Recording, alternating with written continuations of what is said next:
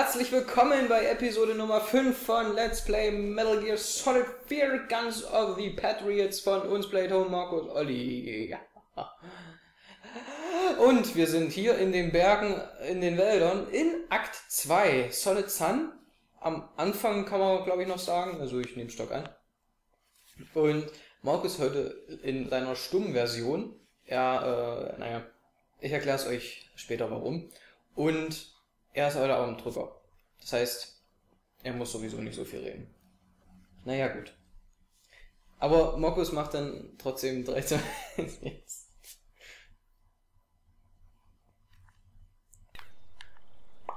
Ja, Hallo. du kannst ja doch reden. Willkommen, willkommen bei Metal Gear Solid 4 der nächsten Folge. Kamen wir von da oder müssen wir hier lang? Da kommen wir her. Da kommen wir her. Gut. Danke, dass du das fix geklärt hast für mich. Ja, man sieht doch was, ne? Oh, das. Hab ich jetzt schon gesehen? Nee, dich nicht. Ja, die kämpfen sich jetzt vor. Sind das Guerillas oder. Rebellen. Also nicht bekämpfen. Naja, eigentlich nicht, ne? Rebell steht ja da. Ich kann, das- Nicht schlimm. ich kann nicht lesen. Komm, da müssen wir was machen. Ich all die Jahre nicht gewusst. Da war was. Da links, da hat es auf jeden Fall ein bisschen heller geworden. aber solange die da oben hocken, ne? Ne? Aber es könnte auch nur ein Tier sein. Das ist ein Tier. Oh, süßer. Siehst du, diese kleinen äh, müssen nicht immer Gegner sein, fällt Mhm. mir da auf. Das wusste ich aber jetzt nicht.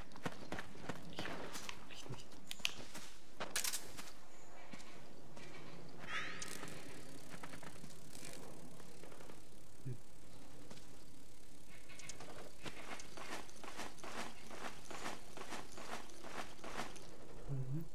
Mach Solid Eye an, vielleicht siehst du, ob es dann böse sind oder.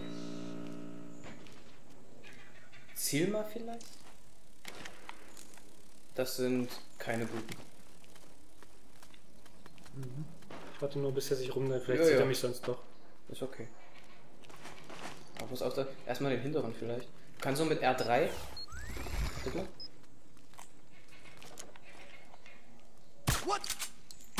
Gut. Ich wusste nicht, dass zwei Schüsse reichen.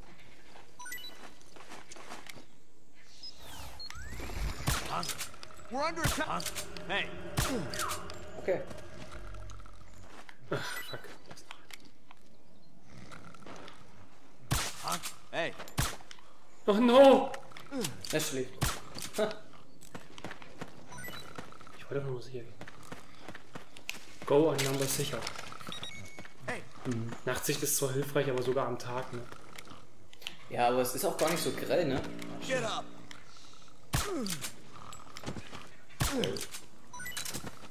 Aber ich habe ihn echt nicht kommen sehen, also. Nee, ich ja, ne, du, ist ja auch jetzt so, weil man sieht halt ohne Solid Eye ist halt der Radar nicht da, ne?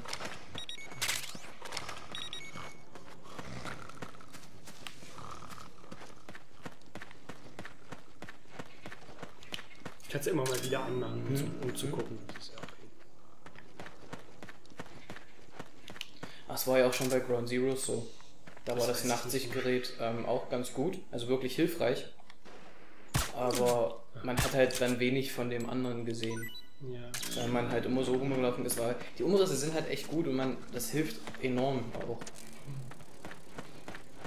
Ja, aber dann ist es ja fast Warte, doch mit dem Krisseln doch fast schon wieder besser. Hier, oben. Ah, ja. äh, weil, weil ich will ja natürlich auch was vom Spiel sehen. Ne? Ja, ja. Das ist, das ist voll.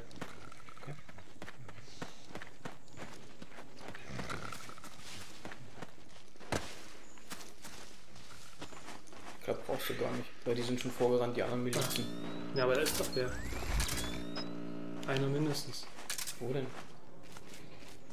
Du siehst doch, hast doch eben gar keinen Umriss gesehen.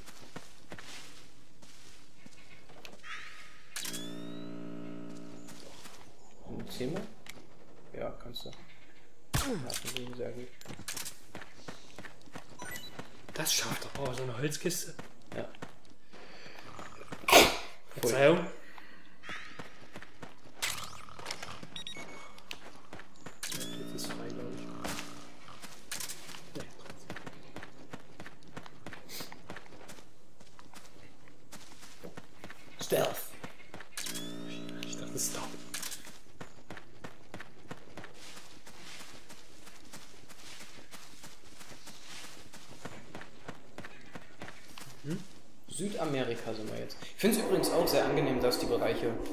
Schön wechseln.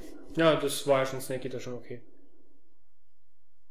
Dass die Gebiete nicht so riesig sind und kleine. Nein, ich meine viele- auch die Landschaften, also dass wir nicht dauernd in dieser Wüste jetzt mal im Kriegsgebiet jetzt hier sind.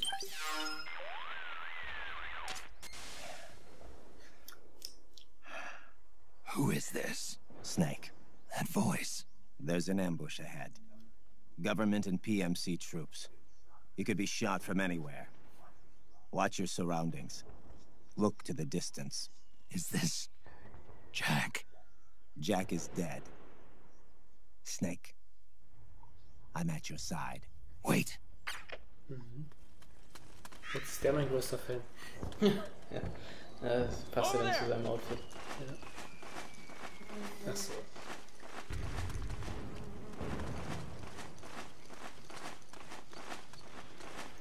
Ja, dann.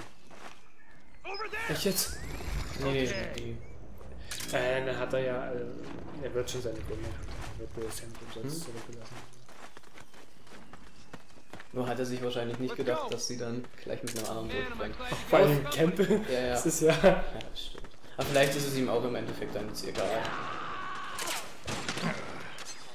Snake, PMC sniper. Keep your eyes peeled. Keep low and stay behind cover. Someone get that sniper!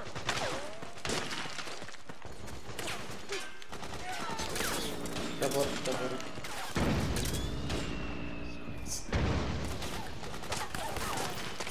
Ah, Ich weiß nicht, ob ich angreifen gut.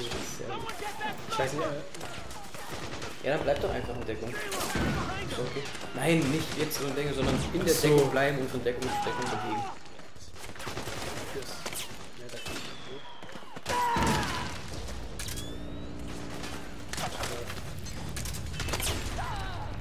Da oben ist aber kein Selbstkind.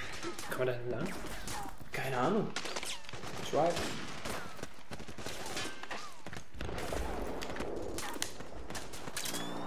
Da ist wer?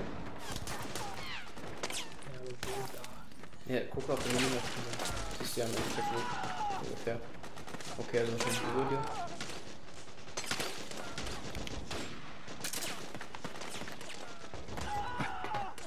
Ja, da wird schon eine Kiste hingestellt. Da musst du drüber hechten. Ähm, hm. Klappt immer wieder. Dann muss man drüber hechten. Sehr gut. Hätte sich festhalten können. Ja. Jetzt nicht zu Ende. Geht doch mal schief. Mhm. Niemand. Halt Dreieck bereit? Ja, runter, oder? Ja, der sieht. Ja, dann guck den MG. Sehr gut. Links.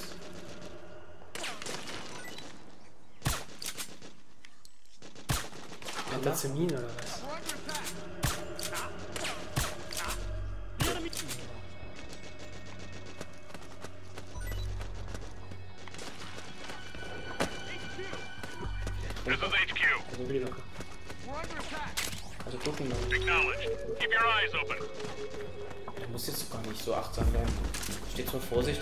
Dann jetzt gehst du wieder zurück, ne?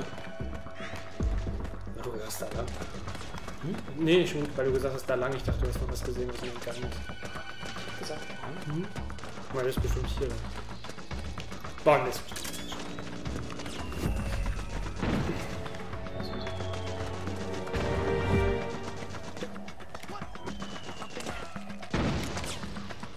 What? Hey!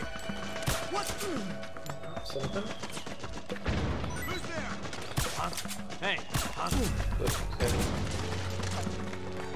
네.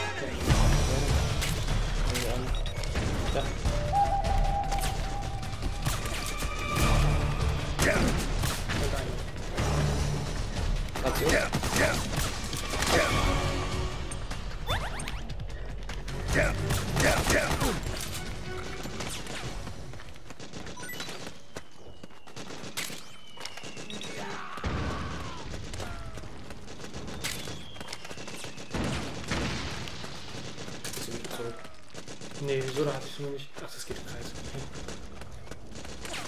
Da links, da braucht ich irgendwo ein Objekt. Kumpel hat's beleuchtet. Das? Mhm. Das?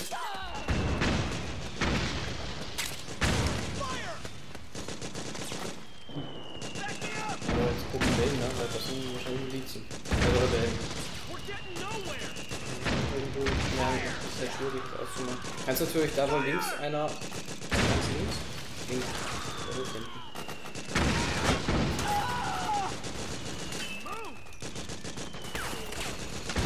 Da, an, an Geschütz. Ja, passt.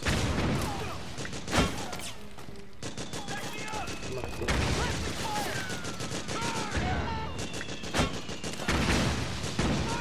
So, Weg ist frei.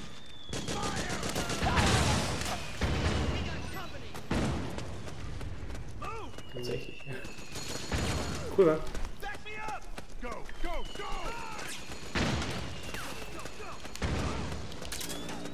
Ja, hier geht's auch nicht weiter. Das ist Schluss.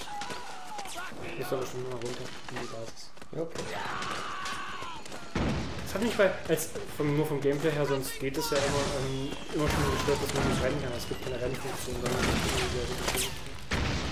sehr Ja, doch, bei es Da war es L2, äh, L3 angegeben. Ja, ich weiß.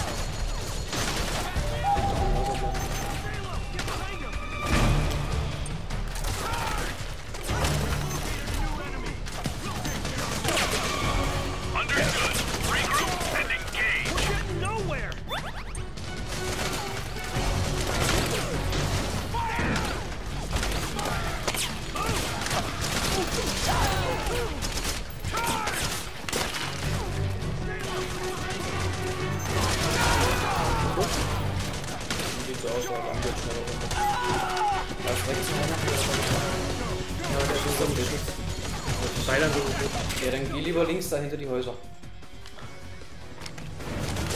Ja.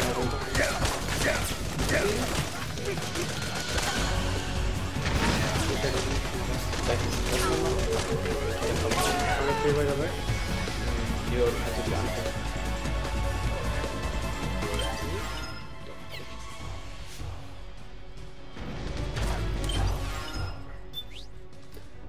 Hundertsiebenundvierzig. Da steht's auf Rosemary. Kannst du?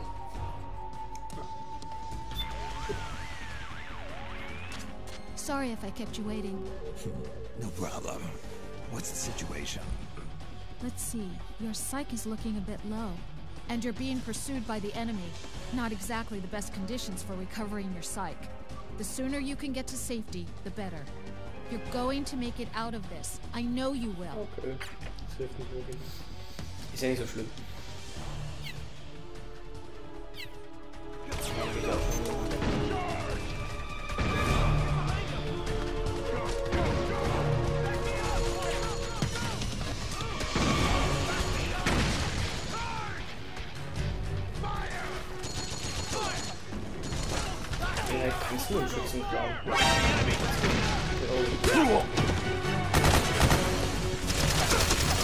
Jetzt?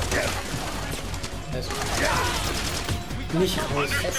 Regroup and engage. Ich.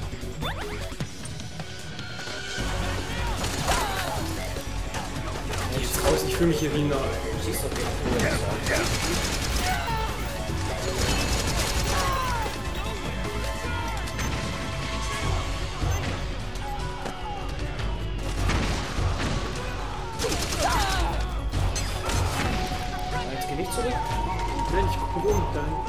Ja, siehst du das nicht. Ja, die kommen hier immer noch wieder. Das ist ja eben selbst gesagt.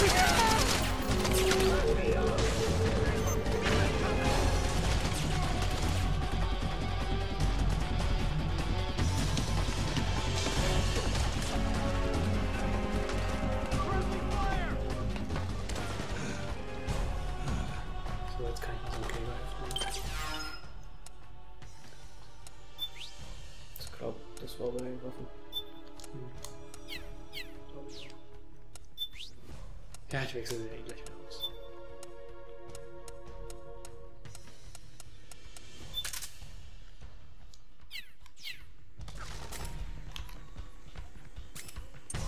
Kreis. Oder, oder? L1-Taste und R1 gedrückt halten. Drück mal L1 und jetzt R1.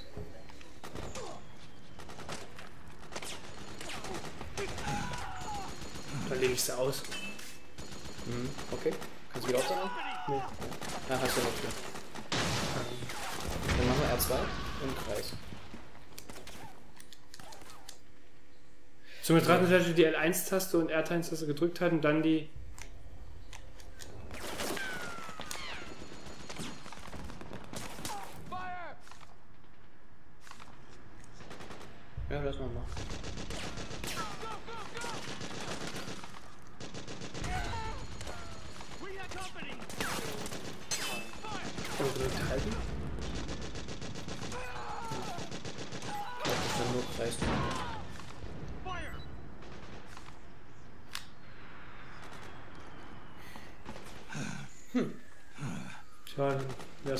Es findet, freut sich. Hm, Bleibt halt so. Got. Ähm, jetzt könntest du die andere anfunken.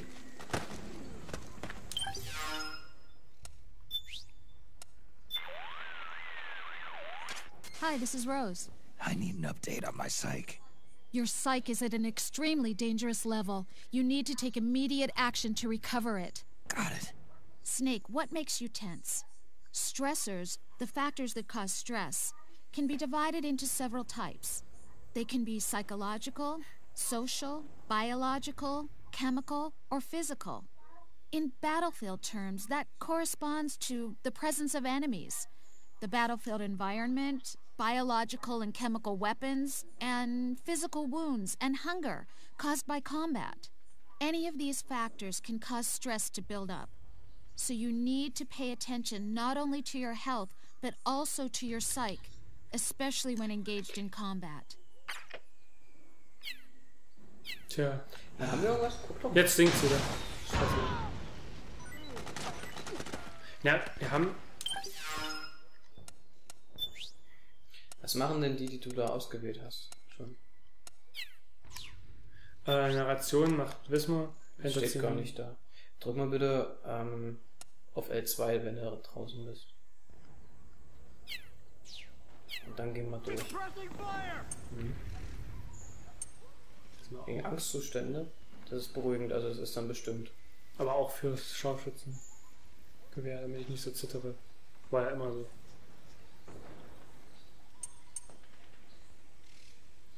Da steht Psyche wieder her. Nicht gebracht. Was ist das hier?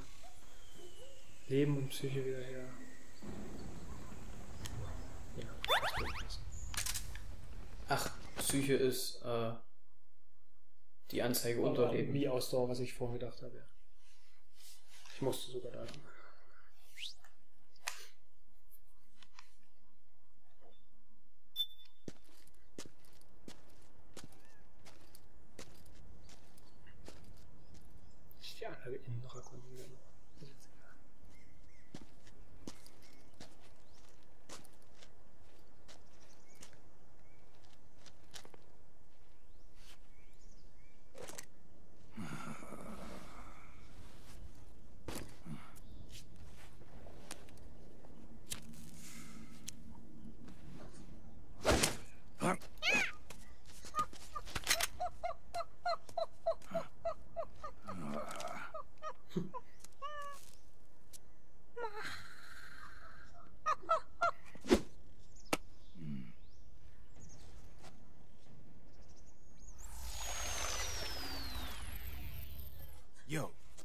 Here.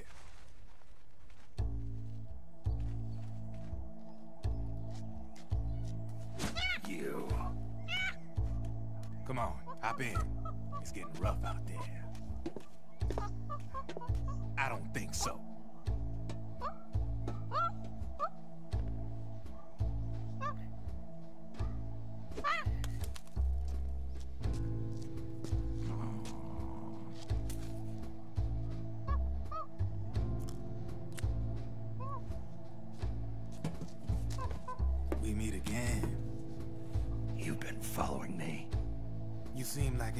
Guy, so I decided to check you out. Sit down. A lot of legends about you out there in the intel community. Especially in the, uh, especially in the CIA.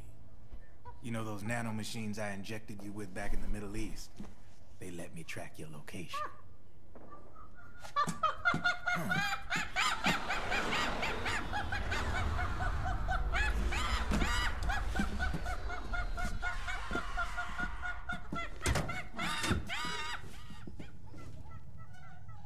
Figures. The B&Bs are here. Things are about to get hairy. B&Bs. You never heard of them? They're Beauty and the Beast. Together they're called the B&B Corps. B&B Corps. They're a squad of enhanced female soldiers, belong to the PMCs. Anytime there's a mess that needs cleaning up, they're on the scene leading the elites. That's a female. Probably freelancers hired by the PMCs. They run out of a separate parent organization. Guess it's time for good old Drebin to let you in on a few things. Ever since you showed up in the Middle East, the B&B Corps has got orders to kill. Their number one priority is to eliminate some guy on sight. A guy named, uh, Solid Snake. But from where I'm sitting, Old Snake seems a little more appropriate. Ah, old, huh? Cheer up. That's the bad news. Word on the street says that beneath those ugly ass suits, the B&Bs are real babes. Drop dead gorgeous. They also say each one of them's been traumatized by war. Badly. They weren't even soldiers to begin with, you know. More like victims of war. They suffered shell shock on the battlefield. Post-traumatic. It damaged their minds pretty much beyond repair. So the only way they could cope with the reality of battle was to become war machines themselves. The remnants of their human side are buried deep within. The beast, that's what you see on the outside. War transforms a snake into beasts. Hmm.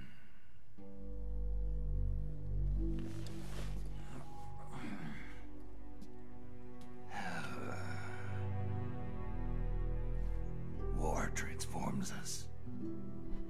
But deep within that shell, something human survives. A fragile, scarred heart. Without a shell to protect it, it's like the yolk of an egg. Word going round is their natural flesh and blood bodies can't survive in the open for more than a few minutes. And they've been convinced that by killing Snake, their minds will be cleansed. They think it's gonna free them from all the pain, and all the fury, and all the sorrow. Which makes these babes pretty much obsessed with killing you. Four B&Bs have been identified so far. The one you just saw was Raging Raven. There's also Laughing Octopus, a master of mimicry, and Crying Wolf. She runs on four legs. And finally, the mistress of mind control, Screaming Mantis. Mantis. Yeah, there used to be a guy by that name in the US military. A Russian psychic. He could control people's minds. I guess she inherited the title. She keeps the other B&B's minds in check with her powers. Octopus. Raven. Wolf. Mantis. You got it. They're the snake hound unit. They've got you in their sights. Shit. I'd hate to be in your shoes. Drebin. I thought no one was supposed to be able to hack into the system. Are you with the Patriots? No, sir. I ain't no lale lule. I mean, I'm no patriot. You can say Patriot. I guess that means you're clean, right? The nanomachines I got in me are different from the military kind. No speech restrictions for me. The hell are these Patriots? Are they human? Not anymore, they ain't. They're the law of this world, created over the course of history. They're what holds this world together, keeps this whole mess in check. We are formless. We are the very discipline and law that Americans invoke so often. The Patriots are America, the world's greatest military power. They are the war economy. Which makes you and me just cogs in a much grander schematic. I mean, someone obviously had to start the whole thing at the beginning. But now their law has taken on a life of its own. A life of its own. Yep. The country, the war economy, it ain't run by people. It's run by the system. Yeah. No need for high-level decision-making authority. It's all handled by a massive, yet simple information processing system.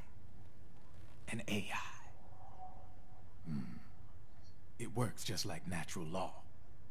The world's a much simpler place than most folks realize. Ja, das, was wir im letzten Teil schon erfahren haben. Die wurden digitalisiert. Every aspect of the Patriot system is closely monitored by three peripheral AIs and a core AI that ties them all together. The SOP system is one part of that. It's all backed up by a foolproof control system. So not even yours truly can sneak inside the Patriots' AIs. What if, hypothetically, someone found a way? If they could fool the IDS. I guess they could use it as a haven to lay low. Haven? You know, like a tax haven. In the internet society, we have net havens, data havens. A haven is someplace where social conventions and the rules of the net don't apply.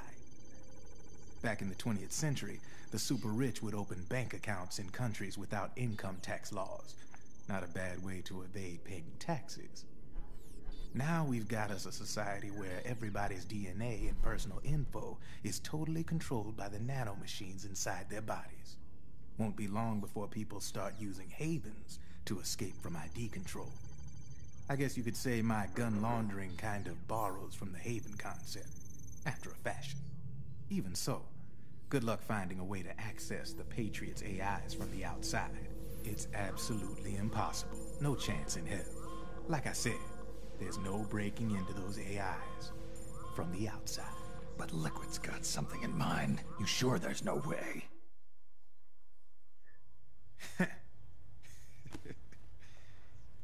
I'm just a gun launderer. Only reason I'm interested in you is because you start a lot of fires.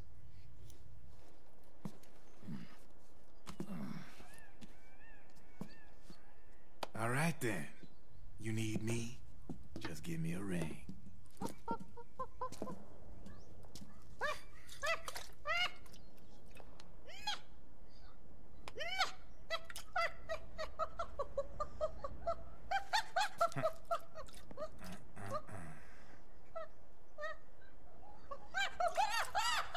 Go on. Get your ass back inside. Now!